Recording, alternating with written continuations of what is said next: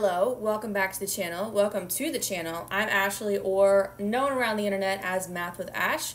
Today, my goal is to tell you everything that I know about vertical and horizontal asymptotes. So let's get to it. So I think a good introductory example to asymptotes is this function, because maybe you haven't seen asymptotes before, but you've probably seen this function. So you can see this kind of interesting behavior that's happening, where as we take our x's to positive infinity, our function is getting really, really close to the x-axis, but it's never touching it. And the same thing is happening if we take our x's to negative infinity. Our function is getting really, really close to the x-axis, but it's never touching this. We also have this weird behavior as we take our x's towards zero, right? So as we take our x's towards zero, our function is getting really, really close to our y-axis, right? So you can see that here and here. So our x-axis is an asymptote, but we're not going to write our asymptote as explicitly the x-axis. An asymptote is the equation of a line. So the equation of this line is going to be y is equal to 0. This line goes through our y-axis at 0. The equation is y is equal to 0. Similarly, our y-axis, we were also saying, is an asymptote, but we're going to write this with the equation of a line. It's going through our x-axis at 0. This is the line x is equal to 0. Another helpful example, I think, to get you used to thinking about asymptotes is taking this exact graph and just shifting it. So grabbing that graph and shifting it up or right or down or left, giving it some shifts so you can see asymptotes that aren't exactly the x-axis and the y-axis. So the graph on the right is an example of this. So you can see from our original graph that I've shifted it right 2, so if I've shifted it right 2, then our vertical asymptote is going to go from being x equal to 0 2 being x is equal to 2. So we've shifted our graph right 2 and then up 3. So this up 3 is going to give us our new horizontal asymptote. Before it was y equals 0, now it's going to be y is equal to 3. So just taking a step back, you can see how these asymptotes work.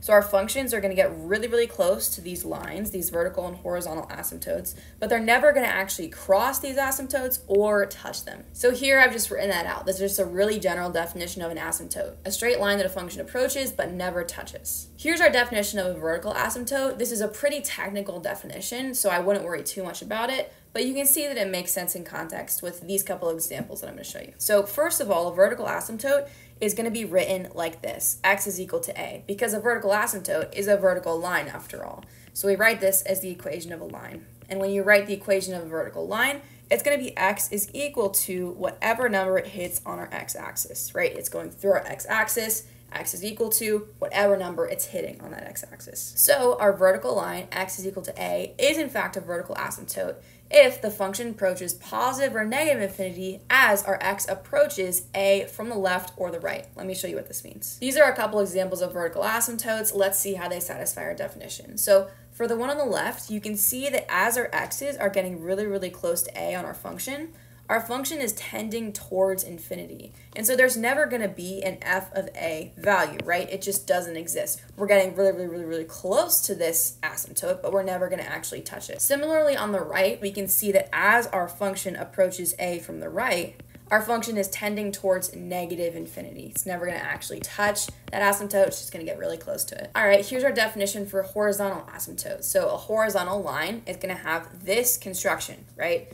A horizontal line is going to look something like this. It's going through our y-axis at a certain point, and so the equation of that line is going to be y is equal to whatever value it's passing. So a horizontal line is in fact a horizontal asymptote if our function approaches b as x approaches either positive or negative infinity. Here are our examples. So on the left, you can see that as our x's are going towards negative infinity and positive infinity, our function is approaching this y is equal to b value. Never touches it, never crosses it, but it approaches this asymptote. And then a similar thing is happening on the right. As our x's are going towards negative infinity, as our x's are going towards positive infinity, our function is approaching this y is equal to b line, never crossing it, never touching it, it's an asymptote. Now that we know what vertical and horizontal asymptotes are, how they're defined, we need to figure out how I can calculate what the vertical and horizontal asymptotes are. So typically when you're talking about vertical and horizontal asymptotes in a math class, you're talking about them in the context of a rational function. So a rational function is pretty much defined as two polynomials divided by each other. So don't let this notation scare you right here.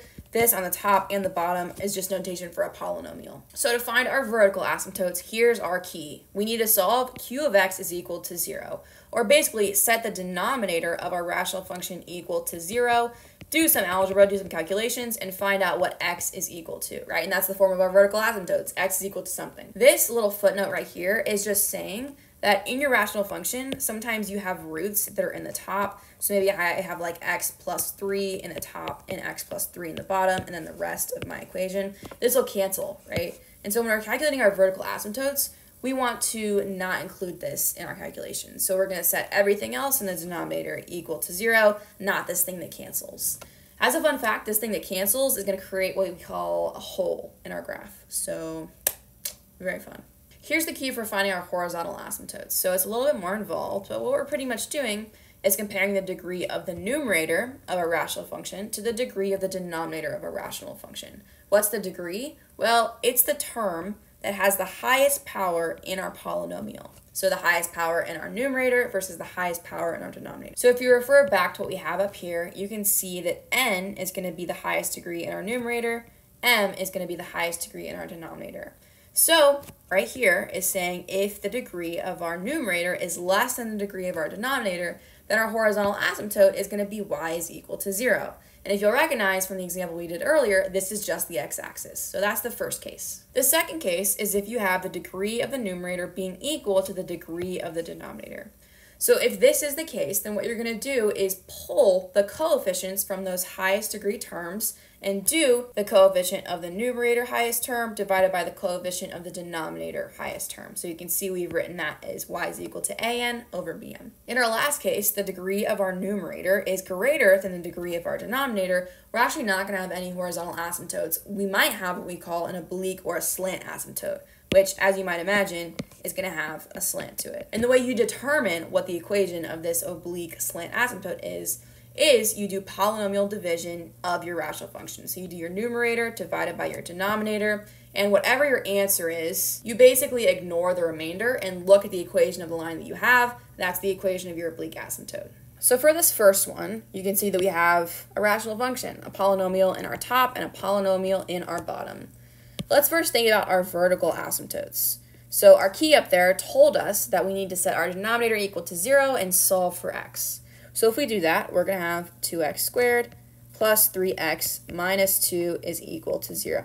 On our left looks like a quadratic function, and so there's lots of different ways you could solve this. You could use the quadratic equation, you could plug this on a graph and see where it intercepts the x-axis, you could factor. I'm going to choose to factor here. So the way that I always think about factoring is I think about my a times my c, and so 2 times negative 2 is going to give me negative 4. My b is 3. I'm thinking about what pair of numbers is going to multiply to a negative 4 but add to a 3. So what's going to do that? I think 4 and negative 1.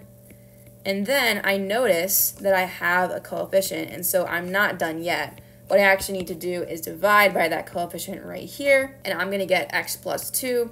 You could swing this if you want, but because we're solving this, I'm just going to leave it as this. x minus 1 half is equal to 0. And then we set each of these factors equal to 0 and solve. So x plus 2 is equal to 0 is going to give me x is equal to negative 2.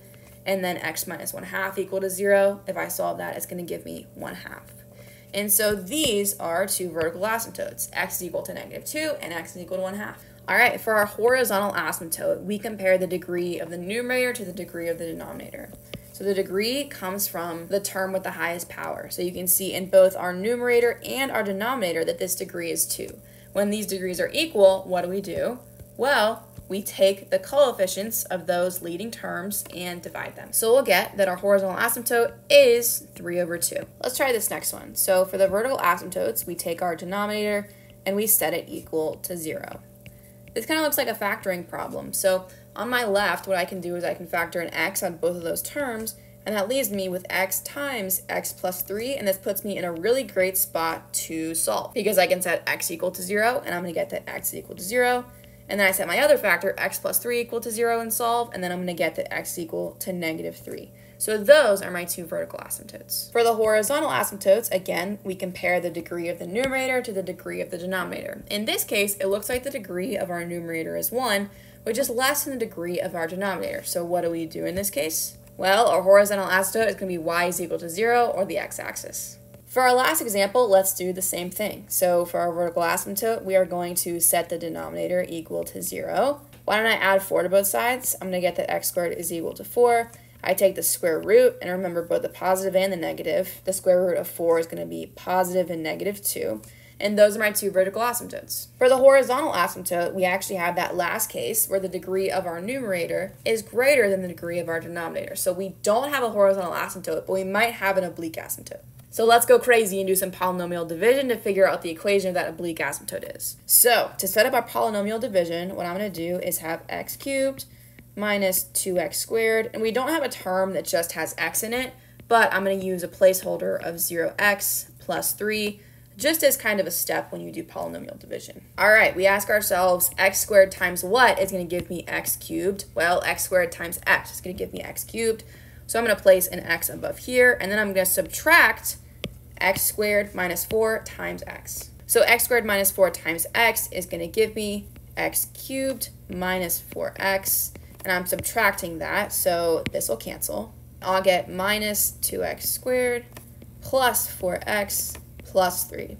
Now I'm asking myself, x squared times what is going to give me minus 2x squared? That's just minus 2, right? So I'm going to put a minus 2 in my ones column, and then I'm going to subtract x squared minus 4 times minus 2. I could keep going and figure out what my remainder is, but we've actually got the equation of our line right here. So the equation of our oblique asymptote is y is equal to x minus 2. There you go. So these examples kind of show every possible case you could have with vertical and horizontal asymptotes, but let's graph them just to make sure that we've done them right. Okay, so for the first one, you can see that our function is graphed here in blue and our asymptotes are in red. So our vertical asymptotes we got that were negative 2 and 1 half look like vertical asymptotes, right? Our function is getting really, really close to both of those. And then our horizontal asymptote is y is equal to 3 over 2, and you can see that as our x goes to positive infinity, our function does in fact approach that. All right, for our second problem, you can see again our function graphed in blue, the asymptotes in red, and it looks like our asymptotes are checking out. The vertical ones being 0 and negative 3, and the horizontal one being our x-axis. Finally, our last function, which is perhaps the most interesting because we have our vertical asymptotes, we have our slant asymptotes here. So you can see how a slant asymptote works, how our function gets really, really close to this y is equal to x minus 2 line as our x's go to negative infinity and positive infinity. All right, I hope this video has been helpful. We went through the definitions of asymptotes, both horizontal and vertical asymptotes, how you find them when looking at a rational function, and then some examples that cover pretty much everything that you could see or that would be thrown at you for these asymptotes. If you like this video, consider dropping an actual like down below. Maybe subscribe if you're feeling it, if you're not subscribed already. And thanks for watching. Comment down below what kind of videos you'd like to see. I like this rational function thinking that we've been doing. We could do other videos on how to find the x-intercepts and y-intercepts and find a lot more things about rational functions if you guys would be interested in that. But just let me know all your comments, thoughts, and concerns, and I'll see you later.